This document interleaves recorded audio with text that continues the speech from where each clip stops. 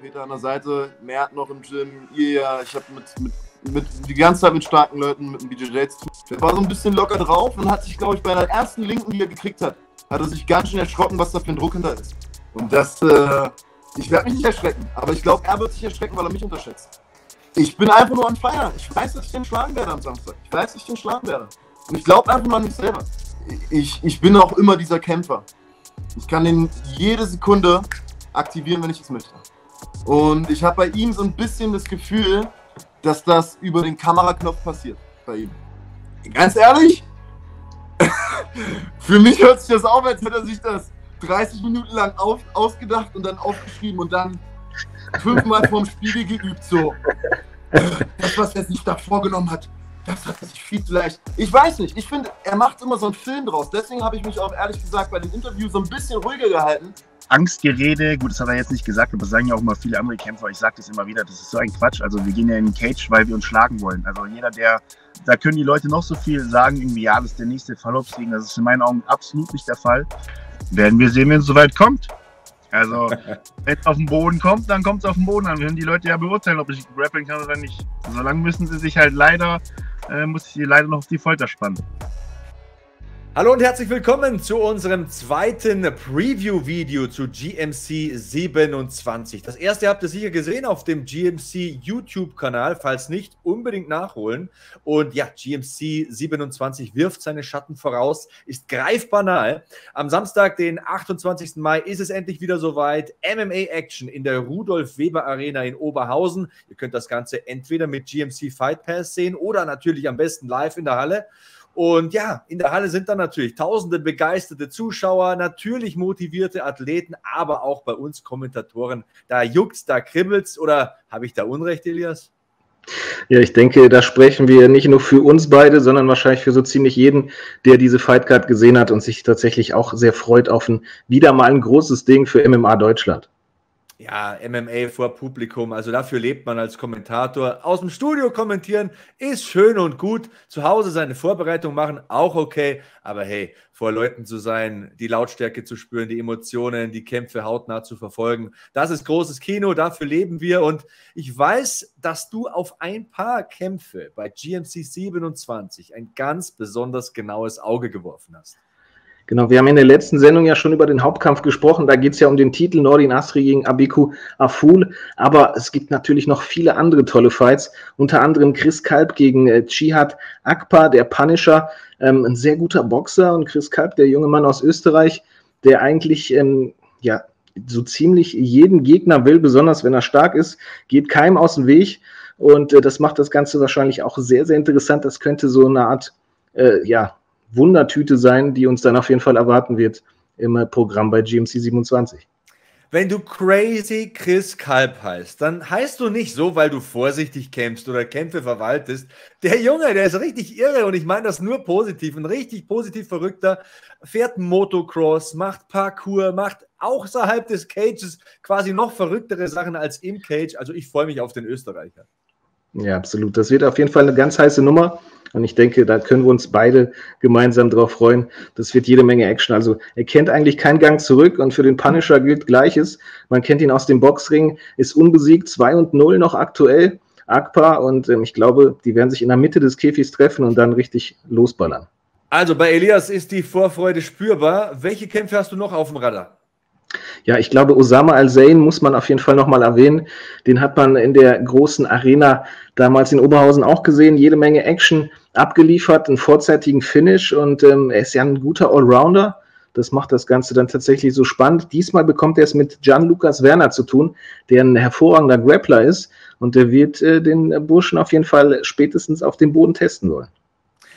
Interessante Geschichte, gefällt mir natürlich wieder. Gian-Lukas Werner ist über das Professional Wrestling zum Kampfsport gekommen. Hat zu seinem Papa gesagt, hey, was die im Ring machen, das will ich auch machen.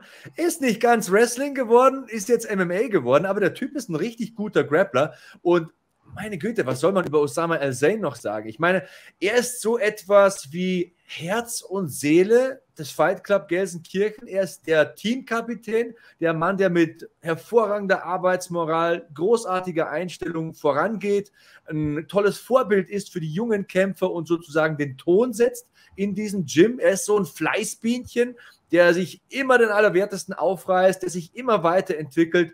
Mittlerweile kann er grappeln, er kann gut ringen, er hat hervorragende Finishes, Guillotine-Chokes zum Beispiel in den letzten Kämpfen, aber auch sein Striking entwickelt sich, Elias. Ja, er wird definitiv immer besser, hat jetzt auch eine Siegesserie aufbauen können. Das ist ja das, was ihm in seiner Karriere ab und an nicht wirklich oder bei ihm nicht wirklich geklappt hat. Jetzt hat er, glaube ich, so dass die Quintessenz gefunden, das Mittel zwischen Training und mentaler Stärke, das Ganze verbunden. Und das hat man auf jeden Fall in den letzten Fights gesehen. Gleichzeitig ähm, Lukas Werner, wie du schon erwähnt hast, Wrestling-Fan, hat aber auch Fußball gespielt, musste sich dann so ein bisschen entscheiden, geht er Richtung Kampfsport oder Fußball. Ich glaube, für uns alle ist es eine coole Sache, dass er sich für den Kampfsport entschieden hat. Und äh, ja, Shuto Amateur-Champion war er auch noch. Also beide erfahren, Luther Libre auf der einen Seite, Jiu-Jitsu auf der anderen. Also here we go. das war die Blutgrätsche aus dem Fußball, die er mitgebracht hat ins MMA. Ähm, ich habe noch so einen Kampf, den ich ganz genau betrachten werde. Alexander Wesner hat eine ganz, ganz fantastische Entwicklung hingelegt bei GMC. Viele hatten ihn nicht auf der Landkarte, aber er hat im vergangenen Jahr fünfmal gekämpft, bestreitet jetzt schon wieder drei Kämpfe in diesem Jahr. Der Mann ist immer on fire, will kämpfen, will den Leuten eine Show bieten und auch er entwickelt sich. Also es ist etwas boxlastig, sein Striking, aber es wird immer besser. Sein äh, Ground Game wird immer, immer dominanter. Seine Takedowns haben wir gesehen und ähm, ich meine, er hat Michael Smolik drei Runden einen richtig guten Kampf geboten. Ich verspreche mir sehr viel von seinem Aufeinandertreffen mit Peter Njari. Ja, absolut. Ähm, kann ich nur so zustimmen und nur so genauso wiedergeben, wie du es sagst. Also er entwickelt sich auf jeden Fall, wird auch immer wieder ein kompletterer Fighter. Und wenn man die letzten beiden Leistungen von ihm sieht, also er hat seine Gegner ja sprichwörtlich zerlegt, auseinandergenommen. Shota Gvasalia hatte er im Hauptkampf bei der GMC Fight Night Nummer 14 und äh, den hat er wirklich auseinandergenommen. Robert Rosenko vorher ähnlich. Also er ist auf jeden Fall auf dem nächsten Level angekommen und darum denke ich, wird es ganz schwer für Peter Njari, der dann äh, auf ihn treffen wird in dieser, im, im Aufwärtstrend, sage ich mal. Ja, Njari ist ein Muay Thai-Kämpfer, wird sich natürlich in der Mitte treffen wollen, Schläge und Kicks austauschen wollen, aber wir kennen Alexander Wesner. Das ist auch sein Fahrwasser. Also eine gute Ballerei schmeckt ihm schon. Da hat er mit Sicherheit Bock drauf. Auf der anderen Seite muss man bei Niari sagen, er hat ähm, in anderen Organisationen schon um Titel gekämpft. Gleichzeitig hat er aber auch mit guten Submissions gepunktet. Also ist auch ein Kämpfer, der beides kann und äh, das macht ihn eben umso gefährlicher. Also ihr merkt schon da draußen, ihr solltet den GMC Fight Pass abonnieren oder noch besser direkt nach Oberhausen kommen. Vielleicht sagt er auch kurz Hi zu uns, Elias und ich. Wir sind am Start am Kommentatorenpult. Die GMC-Offiziellen haben sich wirklich die Köpfe zerbrochen, haben da eine äußerst unterhaltsame Card auf die Beine gestellt und ja, Trommelwirbel, Elias. Kommen wir zu den großen Wummern. Im Co-Main-Event, da werden wir die Rückkehr von Michael Smolik erleben. Der Vorzeige-Kickboxer hat seine Handverletzungen, muss man ja sagen, man muss hier den Plural benutzen, überstanden und steigt mit dem ungeschlagenen Emilio Kisur in den Cage. Ja, das sind zwei Hühnen. Also ich glaube, da muss man erstmal den Cage vorher ein bisschen kontrollieren und sicher gehen, dass da nichts aufbrechen kann. Wenn die beiden aufeinanderprallen, haben unglaublich äh, eine enorme Schlagkraft. Beide kommen ursprünglich beide so aus dem Kickboxen. Natürlich der Erfahrungsvorteil auf der Seite von Michael Smolik, was das Kickboxen angeht. Dafür ist Quisur schon ein bisschen länger im MMA, also hat da vielleicht sogar den, den Vorteil. Ist natürlich immer die Frage bei Michael Smolik, was passiert, wenn es auf den Boden geht? Äh, kann er da mithalten oder nicht? Ich denke, wir werden es wahrscheinlich erfahren am Samstag. Auf jeden Fall. Und es ist in vielerlei Hinsicht ein faszinierendes Matchup. Denn wenn wir Kisua sehen, der hat äh, sehr lange mit Sascha Poppendiek trainiert. Der hat in Magdeburg Boxen und Kickboxen trainiert. Also er ist auf jeden Fall ein fundierter Striker. Ob er im Kickboxen auf dem Niveau ist wie in Michael Smolik, das wird abzuwarten bleiben, das können wir so noch nicht sagen, aber er hat die Fundamentals, also die Grundlagen im Striking, im äh, Standkampf und jede Runde, jeder Kampf beginnt ja im Stand. Aber was mich sehr fasziniert ist, Kisua trainiert bei Planet Eater in Balingen mit Peter Sobotta und Peter Sobotta, wissen wir alle, ist Dean Lister Black Belt, hat in der UFC gekämpft, ist ein hervorragender Grappler. Und du weißt, wie es ist, Elias. Wenn sich zwei Striker treffen, dann wird manchmal draus Grappling. Ja, du sagst es, ähm, es kommt äh, oft vor, besonders, glaube ich, für die Zuschauer, die erwarten, dass es eine Knallerei gibt im Stand könnt euch vielleicht schon mal darauf vorbereiten, dass es vielleicht wirklich auch zu Boden geht und dass beide sich dort testen. Auf der anderen Seite, du erwähnst es schon, die Planetenfresser aus Balingen, auf jeden Fall ein sehr, sehr starkes Team. Gute Männer, mit denen äh, Quisua dort trainiert und sich sicherlich Tag für Tag immer wieder weiterbilden kann. Und das macht ihn umso gefährlicher. Je länger er Zeit hat, desto später der Kampf sozusagen angesetzt wird, ähm, umso gefährlicher wird er. Hundertprozentig. Und äh, ja, wir haben über Striking gesprochen, über Scrappling gesprochen. Bleibt noch die physische Komponente. Und auch da muss man sagen, was ich gesehen habe zuletzt an Fotos von Emilio Kisua und an Berichten von Teamkollegen und Leuten, die nahe am Camp sind, das sagt eigentlich jeder, dass er seine Athletik verbessert hat, dass er eine gute körperliche Entwicklung hingelegt hat, dass er jetzt ein richtiger Kampfsportler ist und wie einer aussieht.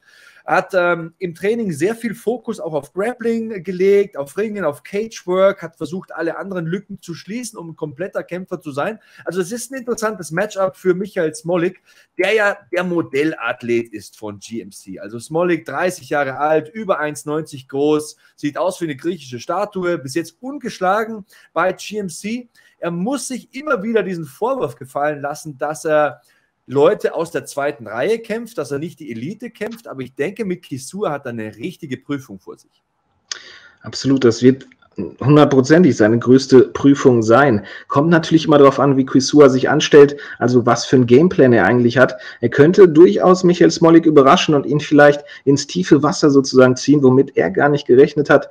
Also da bin ich auf jeden Fall sehr gespannt. Gleichzeitig diese psychologische Geschichte, wir hatten es ja im Vorfeld, besonders wenn ihr auf dem YouTube-Kanal von GMC mal äh, reingeschaut habt oder Interviews auf GMP1, da konnte man sehen, dass beide so einige Worte gewechselt haben, die den anderen auf jeden Fall, äh, ich sag mal, ein bisschen gestochen haben. Das hat äh, Michael Smolik zum Beispiel nicht gefallen, dass er in Anführungsstrichen so frech herausgefordert wurde von Kisua damals, der noch äh, seinen ersten Fight erst gemacht hat, als Smolik noch gar nicht im Cage stand und ihn schon herausgefordert hat und gesagt hat, Digga, ich will bei RTL sein, komm, lass uns kämpfen und all so weiter. Ähm, das hat ihn auf jeden Fall kurzweilig auf die Palme getrieben. Auf jeden Fall. Und äh, wir werden mit beiden versuchen zu sprechen. Und das muss natürlich auch eine Frage sein. Inwieweit beschäftigt dich das? Äh, inwieweit kann ich das vielleicht ein bisschen aus der Reserve locken? Inwieweit kann ich das emotional machen? Ich glaube, von dieser Komponente lebt der Kampfsport schon auch. Also das ist dieser Entertainment-Faktor, den wir da ein bisschen beschwören werden. Ähm, wenn wir noch ein paar Fakten abhaken wollen zu Smolik. Also 33 Profikämpfe als Kickboxer, ungeschlagen in dieser Disziplin, hat jetzt zwei vorzeitige Siege im MMA und zuletzt einen Punktsieg gegen Alexander Wesner, also auch da immer noch ungeschlagen. Für mich mit Sicherheit einer der besten Striker in der deutschen MMA-Szene. Die Frage ist tatsächlich, was hat Smolik dazugelernt? Welche neuen Fähigkeiten präsentiert er eventuell? Ja die gleiche Frage oder das gleiche Thema, was ich vorhin angesprochen habe, könnte man natürlich auch auf Smolik übertragen. Ähm, er könnte eben Kisua auch überraschen, dass er jetzt auf einmal als Grappler hier antanzt oder als Ringer und ihn zu Boden holt und dominiert vielleicht aus der Oberlage mit Ground and Pound, mit harten Elbows. Wir wissen es nicht. Wir haben in sein Training nicht geschaut. Wir wissen also selbst nicht, was uns erwartet. Gleichzeitig weiß Kisua eben auch nicht, was ihn erwartet. Und äh, das ist dann immer so ein, so ein 50-50-Match. Ich denke mal, ähm, würde man darauf wetten können, können, wäre es wahrscheinlich auch ordentlich verteilt. Ja, wenn ich tippen müsste, würde ich sagen, Smolik spielt seine Reichweite aus, versucht dann auch, wenn er die Distanz gefunden hat, seine Drehkicks anzubringen, hat er ja alles. Also Spinning Back Kicks, Hook Kicks, Tornado Kicks sogar. Und Kisua wird was rausholen, was man nicht vermutet. Also wenn ich raten müsste, würde ich sagen, der wird versuchen zu clinchen und irgendwie über den Cage in die Grappling-Schiene einzutauchen. Aber hey, es kann auch ganz anders kommen. Es ist MMA, es ist der faszinierendste und am schnellsten wachsende Sport, den es überhaupt gibt. Genau, das ist auch wahrscheinlich der Gameplan, den sich jeder 0815-Fan, der Smolly kennt, sozusagen vorstellt. Bring den Striker auf den Boden, nimm ihn aus ähm, dem Gebiet, wo er besonders gut ist und äh, versuch ihn dann eben ja, dort zu finishen. Also, es wird auf jeden Fall cool. Ich würde sagen, lass uns doch einen von beiden schnappen und direkt mal ausfragen. So sieht's aus und äh, bis es soweit ist und äh, bis der erste Gast hier bei uns ist, schauen wir uns noch ein paar Bilder an. Michael Smolik gegen Emilio Kisur. Hier ist der Heißmacher. Michael Smolik! Waren die Hände von Smolik zu viel für Adnan Alic? feuert Michael Smolik los, das könnte der sein. Michael Smolik kämpft die ganze Zeit gegen irgendwelche Leute, die hätte ich in meinem ersten Kampf platt gemacht. Emilio Kisua. Aber der nächste Kampf, wenn er den gewinnt, der will ich nie hier drin haben. Bei mir wird es nicht so leicht wie bei dem scheiß Rollerfahrer. Mach das mit mir. Mach das mit mir.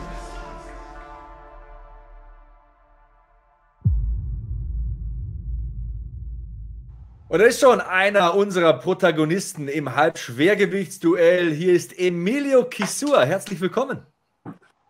Hallo, hallo. Was geht ab, Leute? Emilio, alles gut bei uns. Du trainierst mit äh, Peter Sobotta in Balingen. Den haben unsere Zuschauer und Zuhörer nicht mehr gesehen. Der hat sich gerade in die Sauna verabschiedet. Und du bist als versierter Striker zu Planet Eater gekommen. Aber inwiefern hast du dich als Kämpfer mit Peters Betreuung insgesamt verbessert? Also ich muss mal sagen, also ich, ich, ich würde sagen, ich bin ein reiner Kickboxer gewesen. Ähm, was sich auch nochmal meiner Meinung nach zum MMA-Striking so ein bisschen unterscheidet, weil man damit Doppeldeckung fährt und so. Relativ äh, schnell musste ich dann aber erfahren, äh, dass diese Doppeldeckung einem halt einen Haufen Takedowns einbringt. Also man wird oft runtergeholt. Das musste ich ein bisschen anpassen. Ich habe erst habe ich mega viel an meiner Takedown-Defense gearbeitet, die auch, bin ich der Meinung, sehr stark ist. Man kriegt mich auch schwer gehalten. Und äh, aber meine Grappling-Offensive ist äh, extrem, extrem gewachsen. Aber ist ja klar, mit äh, Peter an der Seite, Mert noch im Gym, ihr ja, ich habe mit, mit, mit die ganze Zeit mit starken Leuten, mit dem BJJ zu tun. Und wenn man sich da nicht irgendwo ein bisschen anpasst, dann äh, macht das Training nicht ganz so viel Spaß. Also. Das, das glauben wir dir aufs Wort. Übrigens, wir haben gerade schon so ein bisschen spekuliert, wie wird der Kampf verlaufen, wenn zwei Striker aufeinandertreffen. Eventuell geht es auf dem Boden hin und her. Was kann Smolik am Boden? Was kannst du am Boden? Also diese ganz vielen großen Fragen. Ähm, willst du uns so ein bisschen deine Sicht der Dinge dazu sagen? Ja, also ähm, er hatte ja in einem Interview gesagt bei GMC, dass ich äh, ja wahrscheinlich sofort übelst den Druck fahren werde und ihn dann versuche runterzuholen. Musste ich ein bisschen schmunzeln, weil ich ähm, also ich sehe mich immer noch als Striker. Das ist das, was ich wirklich sehr gefährlich kann. Mein letzter Kampf wieder gelaufen ist, ist eine andere Geschichte. Das passiert manchmal. Ich habe ein paar Fehler gemacht, die habe ich jetzt auf jeden Fall nicht gemacht. Ähm, und zum Kampfverlauf, äh, ich sag mal so, es geht dahin, wo ich das gerade möchte. Okay. Äh, du hast gesagt, du bist ein sehr guter Kickboxer, hast ein paar Sachen umgestellt. Ähm, Peter ist wiederum BJJ Black Belt unter Dean Lister. Wie sehr hast du davon der Erfahrung Peters im Bereich Grappling profitiert? Ja, unnormal, weil ähm, Peter ja selber, sage ich mal, aus dem reinen Grappling kommt. Das reine Grappling unterscheidet sich aber meiner, meiner Meinung nach vom MMA-Grappling. Einfach durch das Schlagen. Das macht eine komplett andere Dimension.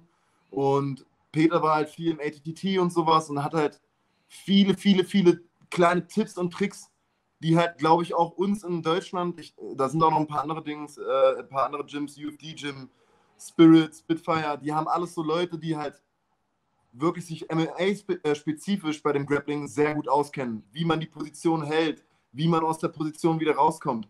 Und das ist natürlich ein, ein riesen, riesen Wissensding, was uns Peter hier im Gym bringt. Also einen unglaublichen Einfluss hat das auf mich. Ja, vom Grappling zum Stand-up. Du hast uns im Interview damalig gesagt, als du da Michael Smolik äh, dann face-to-face -face gesehen hast, dass du auf jeden Fall die Reichweite haben wirst. Was glaubst du, wie entscheidend wird das sein, äh, diesen kleinen Vorteil sozusagen dann zu haben? Kannst du die Welt schockieren und vielleicht äh, den großen Kickbox-Weltmeister tatsächlich aus Kickboxen? Ähm, auf jeden Fall. Auf jeden Fall. Und wenn er, wenn er glaubt, dass das nicht so ist, weil ich hatte im Interview so ein bisschen das Gefühl, er hatte gesagt, ich unterschätze ihn. Ich unterschätze ihn auf gar keinen Fall. Er ist extrem schnell. Ähm, Schnelligkeit in dem Gewicht bringt Härte mit. Das heißt, das, was er macht, wird auf jeden Fall knallhart sein.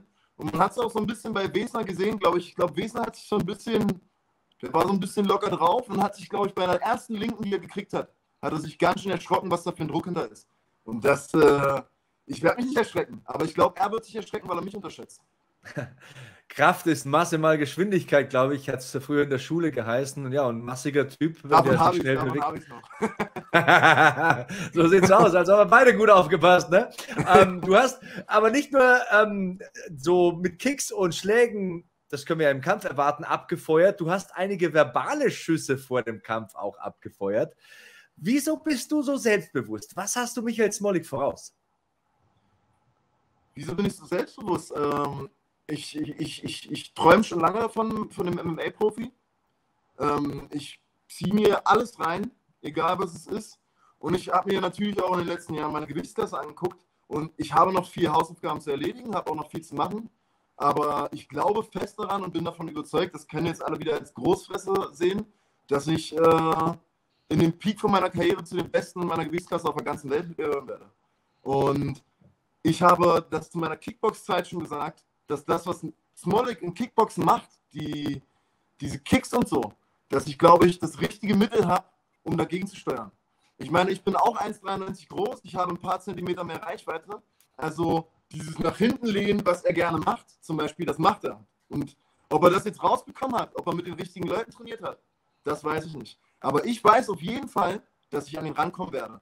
Und das wird einen riesen Unterschied machen. Und noch das Ding, ich habe halt, ich glaube halt daran. Ich glaube einfach daran, dass ich besser bin. Natürlich werden jetzt viele sagen, ey, der ist Kickboxer, voll krass, mit über 30-0. So bin ich nicht.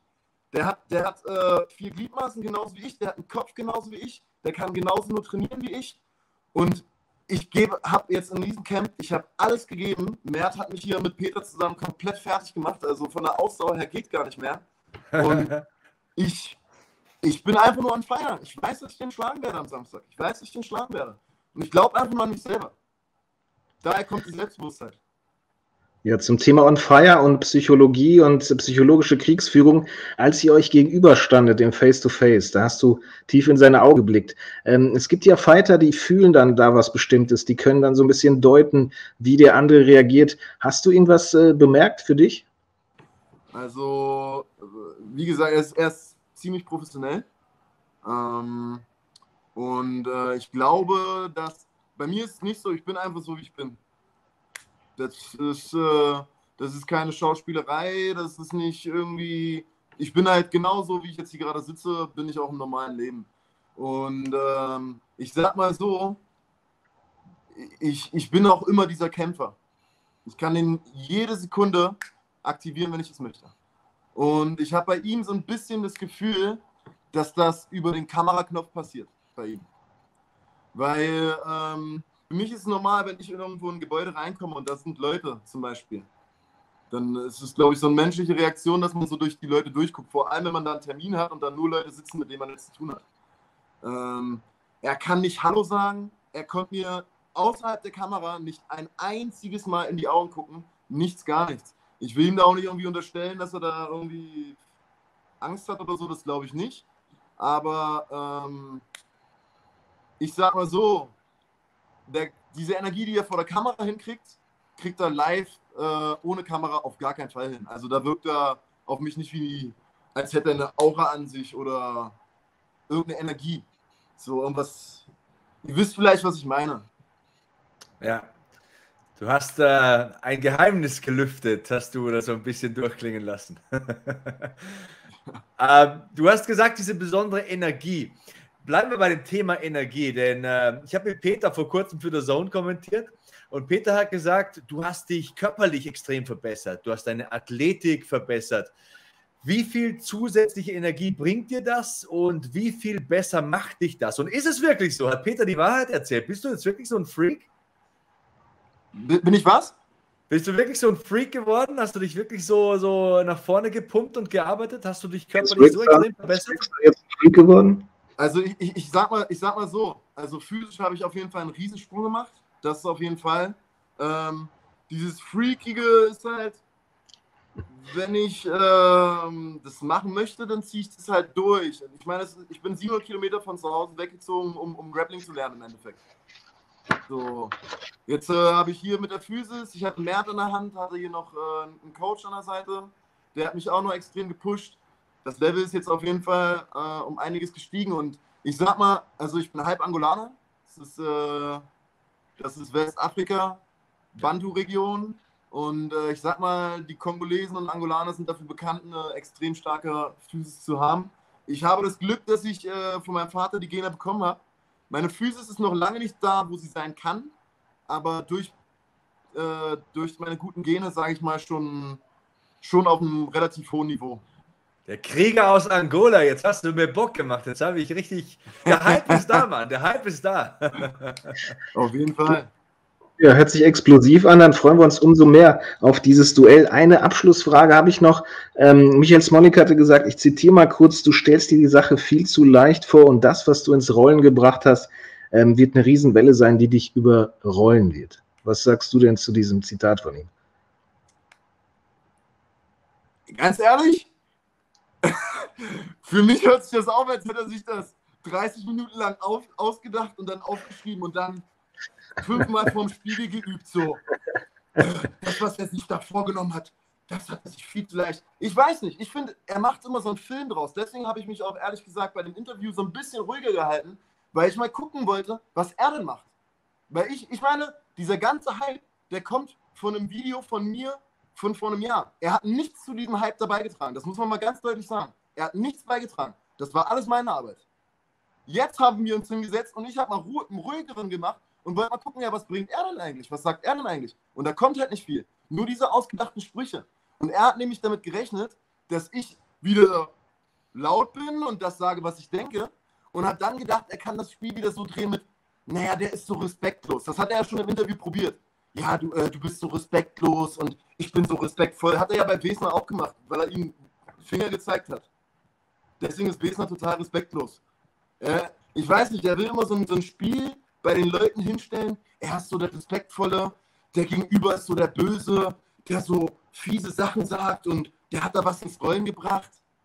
Für mich ist es ehrlich gesagt, da höre ich gar nicht drauf. Ich stelle mir diesen Kampf nicht einfach vor. Das ist der schwierigste Kampf, den ich bisher habe. Der ist genauso groß wie ich. Der ist extrem schnell auf den Beinen. Er ist nicht leicht zu erwischen. Aber trotzdem bin ich der Meinung, dass ich es schaffe. Und wenn er ja, denkt, dass ich das unterschätze, dann ist er komplett auf dem falschen Pfad auf jeden Fall. Also ein hochmotivierter Emilio Kisur. Ich muss sagen, ich bin heiß auf den Samstag, auf dieses Duell im Halbschwergewicht. Der Krieger aus Angola. Da, da müssen wir noch, da müssen wir noch so, ein, so einen Namen draus basteln. Lass mir was einfallen, aber hey. Hey, ich, äh, ich warte da die ganze Zeit drauf, dass irgendwer auf einen guten Namen kommt, Alter. ich werde mir das wirklich auf die Fahne schreiben. Ich muss mit irgendwas, muss ich da ankommen. Am Samstag habe ich einen Spitznamen für dich. Und ja, wir sind alle heiß auf diesen Kampf. Wir freuen uns drauf und wir danken dir für deine Zeit. Ich danke mir, äh, ich danke für die Einladung und äh, wir sehen uns am spätestens am Samstag. Schönen Abend noch. Jawohl, dir auch. Also klasse. Sebastian, ich denke, da sind wir auch hyped, wie du schon richtig gesagt hast. Das hört sich sehr, sehr gut an. Jetzt sind wir natürlich gespannt auf die Worte von Michael Smolik, den wir auch noch versuchen, dann gleich zu bekommen. Und ähm, dann wird ein Schuh draus. So, bei uns ist jetzt Michael Smolik, gerade noch im Sprinttraining, jetzt auf der Showbühne. Schön, dass du ein paar Minuten Zeit hast für uns. Sehr, sehr gerne. Ich habe ja hier spontan Bescheid bekommen, deswegen bin ich hier mal rechts rangefahren und nehme mir mal Zeit, dass die Kollegen mich noch anhalten. So sieht's ja, aus, wunderbar. mein Lieber. Genau, du, Michi, wenn du jetzt gerade sagst, äh, Sprinttraining, Cardio, Ausdauer, dann frage ich mal direkt, ähm, im letzten Fight äh, bist du über die volle Distanz gegangen, erstmals im MMA. Ähm, Glaubst du, das hat dir erstens viel gebracht? Zweitens, ähm, bist du gewappnet für ein potenzielles, für eine potenzielle Wiederholung, sage ich mal, sollte dieser Kampf gegen Emilio Kisua auch oder du gefordert sein, wieder über die komplette Distanz gehen zu müssen? Und glaubst du, das ist vielleicht ein Vorteil? Also ich glaube, dass jede Sekunde im Fight dir Erfahrung bringt, jede Minute sowieso und ein Drei-Runden-Fight zu machen im MMA ist natürlich, hat mir schon sehr, sehr viel gebracht, hat mir schon sehr viel gegeben. Ich war auch gar nicht verärgert, dass ich keinen Knockout gemacht habe oder so. Ich, kleinen Knockout ist immer schön, aber wie gesagt, die Erfahrung hat man mitgenommen und bei jedem Kampf bereite ich mich darauf vor, dass ich äh, fünf Runden in den Krieg ziehen kann. So. Also äh, wir bereiten uns auf einen Titelkampf eigentlich vor. Das sind fünf mal fünf Runden, wo ich gehen könnte. Und ich bin jetzt nicht so, dass ich trainiere auf gerade mal drei Runden, dass ich es gerade mal so schaffe. Und deswegen, äh, wir sind auf alles vorbereitet. Und äh, die Kondition, wenn die nicht da ist, dann kannst du den ganzen Kampf vergessen. Ja, dieser Kampf gegen Alexander Wesner war ja tatsächlich eine Schlacht. Also du hattest danach zwei gebrochene Hände, mit einer bist du ja in den Kampf gegangen. Wie ist ja. dein äh, körperlicher Zustand vor diesem Kampf jetzt? Konntest du da alle Blessuren auskurieren? Gott sei Dank sehr, sehr gut. Also man hat immer kleinere Verletzungen in der Vorbereitung. Das ist, glaube ich, völlig normal. Ich glaube, jeder, der sich nicht irgendwie kleinere Blessuren zuzieht in der Vorbereitung, der bereitet sich nicht richtig vor. Aber das gehört dazu. Das sind wirklich Kleinigkeiten. Aber so die erste Vorbereitung, wo ich wirklich gar nichts hatte. Also ich war weder krank noch irgendwie eine krasse Verletzung oder irgendwas. Ich bin richtig, richtig fit, ich bin richtig fokussiert und äh, ich freue mich sehr auf den Fight. Ja, zum Thema auf den Fight freuen. Wir hatten äh, davor die Freude, mit Emilio Kisua kurz zu sprechen und er hatte auch noch ein paar Worte zu sagen. Ich hatte ihn gefragt, so psychologische Kriegsführung äh, mäßig, wenn du vor deinem Gegner stehst, ihr stand euch ja im Face-to-Face -face quasi gegenüber, was er so in deinen Augen gesehen hat. Ich gebe die Frage sozusagen auch mal an dich rüber. Wie war es für dich? Ähm, als Fighter hat man ja so eine Art Gefühl, ähm, wenn man eben seinen Gegner sieht. Was hast du da empfunden? Lass mich kurz raten. Er hat gesagt, er hat Angst gesehen bei mir. So schlimm ging es nicht. Es ging eher so ein bisschen in eine andere Richtung, dass ja. er meinte, du, bist, du wirkst sehr professionell und willst da keine Emotionen rauslassen. Gleichzeitig hat er damit angedeutet, dass du so ein bisschen Schauspielerst natürlich. Also ich sage mal so, ich, was ich bei ihm gesehen habe, ist, dass er sehr fokussiert war und dass er Bock hat auf den Kampf. Ähm, dieses Angstgerede, gut, das hat er jetzt nicht gesagt, aber das sagen ja auch immer viele andere Kämpfer. Ich sage das immer wieder, das ist so ein Quatsch. Also wir gehen ja in den Cage, weil wir uns schlagen wollen. Also jeder, der Angst vor dem Gegner hat, der irgendwie den Beruf verfehlt. So. Und er, er war fokussiert, aber ich hatte eigentlich eher das Gefühl, dass er da was überspielt hat. So, also das, was er jetzt von mir behauptet, hatte ich bei ihm auch das Gefühl. Aber ehrlich gesagt habe ich mir da nicht so viel dabei gedacht. Also ich habe ihn einfach angeschaut und habe mir hab nicht interpretiert, was er jetzt denkt, sondern ich habe mir einfach nur gedacht, ich werde dich zerstören, Junge. So, das war einfach meine Interpretation. Ich habe mir jetzt nicht viel äh, gedacht, was er da jetzt wohl denken mag. Okay. Also dein Gegner, das halten wir fest, hat ja durchaus versucht, dich verbal aus der Reserve zu locken. Aber abgesehen von dieser persönlichen Schiene, wie stark schätzt du ihn zwischen den Wänden des Oktagons oder des Cages ein? Ich glaube, er ist ein guter Allrounder. Und ähm, ich hatte das ja bereits im Face-Off gesagt, dass er ja so ein äh, bisschen unorthodoxen Stil auch hat. Nicht diesen klassischen Box-Stil oder Kickbox-Stil, sondern ich will jetzt nicht sagen ähnlich wie ich, aber halt irgendwie anders als andere, was nicht, definitiv nicht negativ gemeint ist. Und es macht ihn äh, definitiv zum ernstzunehmenden Gegner. Und ähm, da können die Leute noch so viel sagen, irgendwie, ja, das ist der nächste Fallobsiegen. Das ist in meinen Augen absolut nicht der Fall. Ähm, er ist mindestens genauso ernst zu nehmen wie, wie ein Alexander Wesener. Und ich glaube auch gerade durch dieses Unorthodoxe kann er in jeder Lage sehr gefährlich sein. Und darauf sind wir halt gewappnet, darauf haben wir trainiert. Und ähm, das macht mich zu einem äh, noch besseren Kämpfer. Weil ich glaube, wenn man einen Gegner auf die leichte Schulter nimmt, dann passiert halt äh, schnell, dass man einen Fehler macht. Ja, beim letzten Mal hat er die Reichweite angesprochen. Er sagt, er hat da auf jeden Fall einen Vorteil dir gegenüber. Ich weiß nicht genau, wie du es siehst. Gleichzeitig meinte er, er ist in der Form seines Lebens. Also ich glaube, er hat gesagt, freakig, so wie noch nie. Ähm, wenn du sowas hörst, freust du dich vielleicht noch mehr auf einen Kampf oder kriegst du da so ein bisschen, wie soll ich es formulieren, ähm, Angst ist ja das falsche Wort, wie du schon richtig sagst, aber äh, rechnet man damit, dass man wahrscheinlich dann den härtesten Kampf seines Lebens tatsächlich dann äh, demnächst veranstalten muss im Käfig? Also das ist doch schön. Also ich, ich wäre enttäuscht, wenn er jetzt irgendwie in der schlechtesten Form seines Lebens wäre, so wie bei seinem letzten Kampf. Also ist doch cool, wenn er so Shots fired, ja. boom, boom. ist doch cool, wenn er ähm, wenn er in Topform ist und alles geben kann, weil dann habe ich auch die beste Form des Emilios geschlagen und dann gibt es auch keine Ausreden und dann, also bei mir ist es zumindest so, dass wenn ich gegen einen stärkeren Gegner kämpfe und stärkere Leute vor mir habe, noch selber noch stärker werde. Deswegen ist das gut.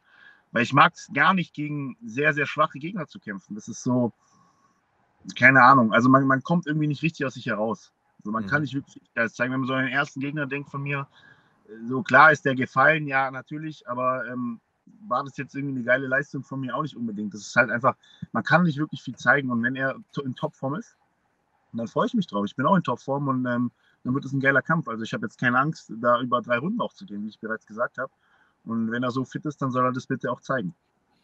Wenn man so die Kommentarspalten liest in den sozialen Medien und auf YouTube, ich weiß, das soll man nicht machen, das ist ein bisschen toxisch, aber ich habe es trotzdem gemacht.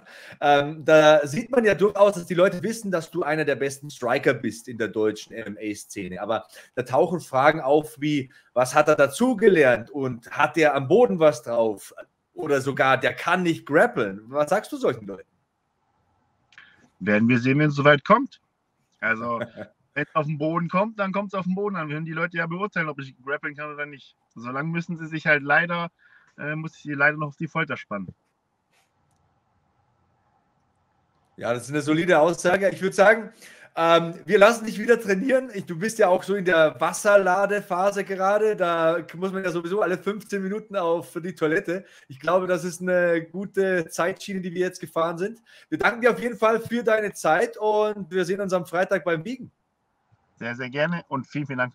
Wir sehen uns, Jungs. Haut rein. Viel Erfolg. Das waren also die Teilnehmer am Co-Main-Event Samstagabend in Oberhausen. Michael Smolik zuletzt und vorhin Emilio Kisur. Das hat richtig Lust gemacht, Elias. Ja, absolut. Und das Thema Gänsehaut hatten wir vorhin ja auch schon erwähnt. Also ich glaube, da gibt es den einen oder anderen Fight, der tatsächlich für jede Menge Action sorgen müsste. Ihr seht die Fightcard, also da erwarten uns viele, viele tolle Duelle. Also, wer sich das Spektakel vor Ort ansehen will, auf jeden Fall vorbeikommen. Die Rudolf Weber Arena in Oberhausen. Tickets gibt es noch, soweit ich es gehört habe. Ansonsten holt sie euch bei Ticketmaster. Und wenn ihr eben zu Hause bleibt, vielleicht mit Freunden das Ganze schaut vor dem Bildschirm, macht das auch gerne im GMC Fight Pass. Auf jeden Fall zugucken, euch einloggen und Spaß haben mit uns. Jawohl, ja. Das war unser zweites Preview-Video zu GMC 27. Wir sehen uns entweder am Samstag in Oberhausen oder ihr schaut das Ganze über den GMC Fight Pass.